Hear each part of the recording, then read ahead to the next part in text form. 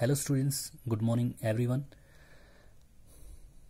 yesterday कल के lecture में हमने जो हमारा करंट टॉपिक चला हुआ है equation of motions by graphical method मतलब इक्वेशन ऑफ़ मोशन का डेरिवेशन जो चला हुआ है, उसके अंदर हमने फ़र्स्ट इक्वेशन ऑफ़ जो मोशन थी आपकी, उसको डिराइव कर लिया था। तो आज हम जो आपकी सेकंड इक्वेशन ऑफ़ मोशन है, जिसको दूसरा नाम हम पोजीशन टाइम रिलेशन भी कहते हैं, कहीं ना कहीं उसको डिराइव यहाँ पे करेंगे। तो इसके लिए हमने क्या किया है?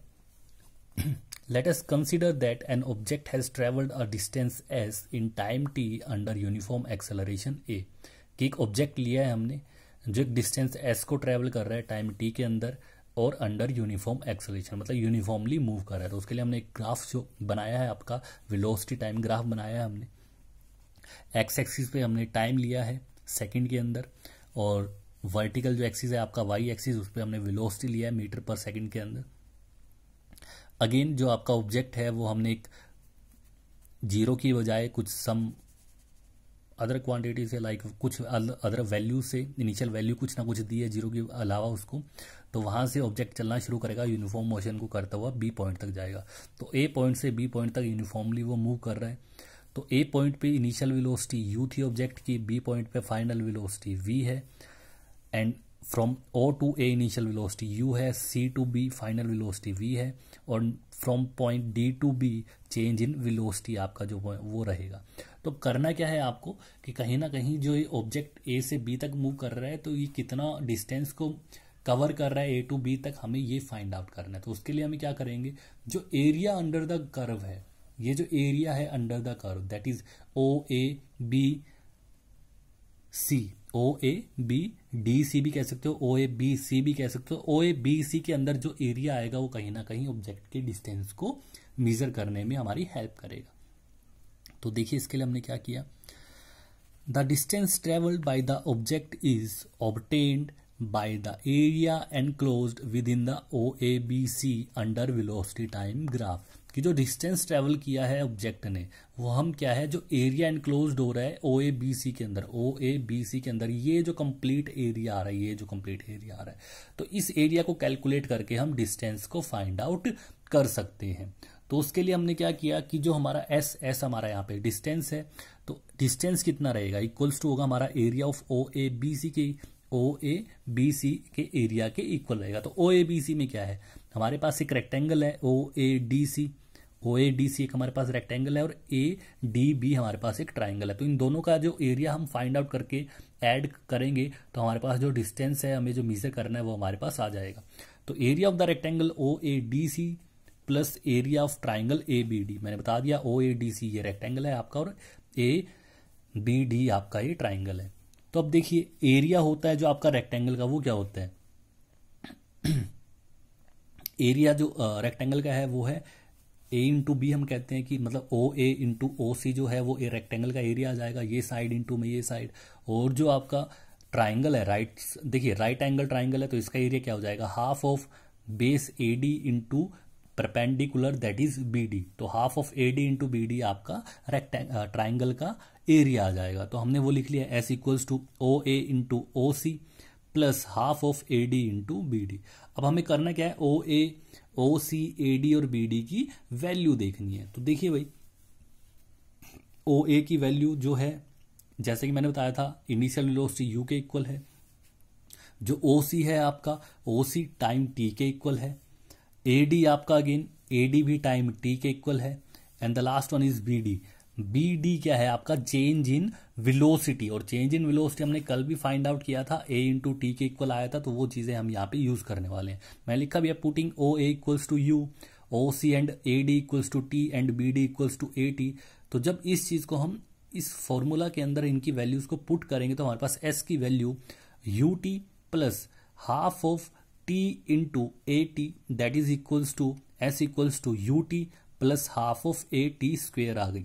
तो ये आपकी सेकेंड इक्वेशन ऑफ़ मोशन है। अगर आप प्रीवियस लेक्चर के अंदर जाके देखें, जो तीन इक्वेशन ऑफ़ मोशन थी, उसके अंदर ये हमारी सेकेंड इक्वेशन ऑफ़ मोशन रहेगी।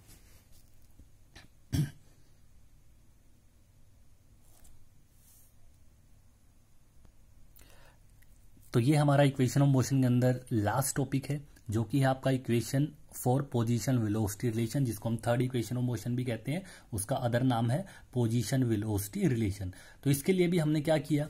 एक वेलोसिटी टाइम ग्राफ जो कि हमने यहाँ पे बनाया था, यही वेलोसिटी टाइम ग्राफ आपका थर्ड इक्वेशन ऑफ़ मोशन के लिए भी रहेगा।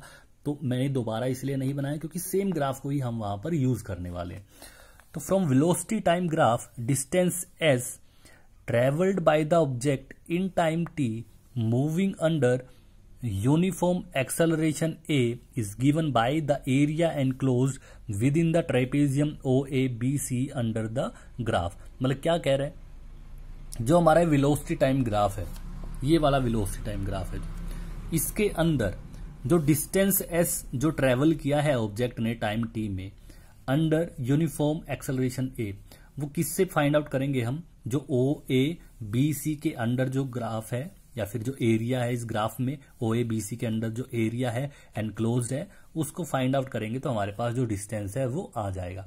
अब देखिए सेकेंड इक्वेशन में तो हमने क्या किया था? कहीं ना कहीं इस फिगर को स्प्लिट कर लिया था। दो हिस्सों में एक रेक्टेंगल बना लिया था, एक ट्राइंगल बना लिया था।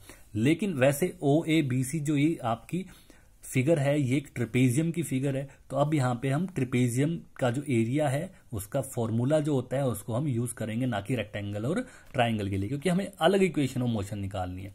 तो उसके लिए हमने क्या किया? डिस्टेंस हमारा equals to area of trapezium O A B C के इक्वल हो जाएगा। दैट इज़ और जो ट्रपेजियम का एरिया का फॉर्मूला होता है, वो होता है sum of parallel side into जो हमारी लोंगर साइड है अदर साइड है divide by two that is sum of parallel side parallel side होती है ये वाली। तो O A plus B C into height divide by तो हाइट क्या है? ओ सी के इक्वल है। या फिर परपेंडिकुलर भी कह सकते हो परपेंडिकुलर भी यहाँ पे ओ सी ही रहेगा। तो परपेंडिकुलर डिवाइड बाय टू तो O A plus B C into O C divide by two O A और बी सी आपकी पैरल साइड है। ओ सी जो है परपेंडिकुलर है डिवाइड बाय टू अब यहाँ पे ओ ए की वैल्यू देखिए ओ ए की वैल्यू क्या है? इनिशियल वेलोसिटी यू के इक्वल है बी सी आपका फाइनल वेलोसिटी वी है ओ सी आपका टी है।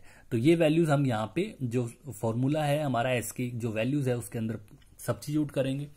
तो substituting O equals to U B C equals to V and O C equals to T we get इसके अंदर हम मतलब ये तीनों वैल्यू इस इक्वेशन के अंदर पुट करने वाले हैं तो S becomes U plus V into T divide by two तो यहाँ तक हमें मिल गया अब हम क्या करेंगे, जो आपकी फ़र्स्ट इक्वेशन ऑफ़ मोशन थी, थोड़ा याद करने की कोशिश कीजिए, वो थी आपकी V is equals to U plus A T तो उसका हमने लिया है, वहाँ से हम टी की वैल्यू यहाँ पे फाइंड आउट करेंगे।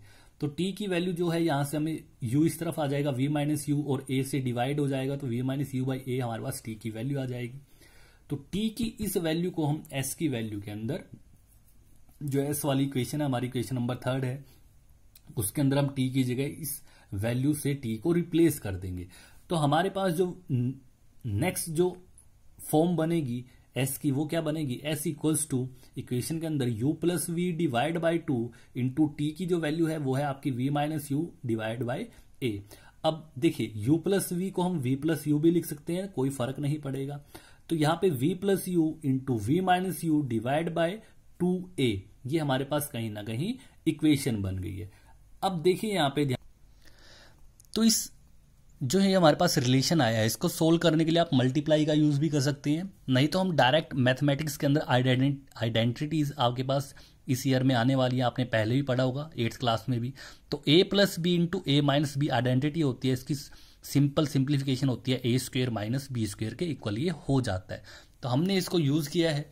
तो जब इसको सिंप्लीफाई करेंगे हम तो हमारे पास आ जाएगा S equals to V square minus U square divide by two A अब टू ए को हम लेफ़्ट हैंड साइड ले जाएँगे तो टू ए एस बन जाएगा आपका तो two A S equals to V square minus U square तो ये आपकी थर्ड इक्वेशन ऑफ़ मोशन बन जाएगी। अगर आप रिमाइंड करोगे तो V square minus U square equals to two A S ये मैंने आपको थर्ड इक्वेशन ऑफ़ मोशन बताई थी। तो स्टूडेंट्स यहाँ पे आपका जो सेकंड लास्ट टॉपिक था इस चैप्टर का, जो कि equation of motions using graphical representation उनका डेरिवेशन था, वो आपका ओवर हो चुका है। आई थिंक आपको ये समझ में आया होगा अब तक जो भी हमने किया है, क्योंकि उसके बाद देखिए, बहुत छोटा सा टॉपिक आपका यूनिफॉर्म सर्कुलर मोशन वो हम कल करने वाले हैं, और साथ ही में आपके जो टेक्सचुअल क्वेश्चन रिमेनिंग है इस चैप्टर के, उसको हम करने वाले हैं, उसके बाद एक्सरसाइज करेंगे, फिर आपका ये फ़र्स्ट चैप्टर कहीं ना कहीं ओवर हो जाएगा। तो स्टूडेंट्स थोड़ा ध्यान से कीजिएगा, क्योंकि डेरिवेशन देखिए आसान है, आपको देखने में लगेगा बहुत बड़ा है, कैसे होगा। बहुत आसान चीज़ें हैं। अगर समझ के करोगे, आपको नहीं समझ आ रहा बार बार लेक्चर को देखिए, आपको समझ आएगा। So thank you students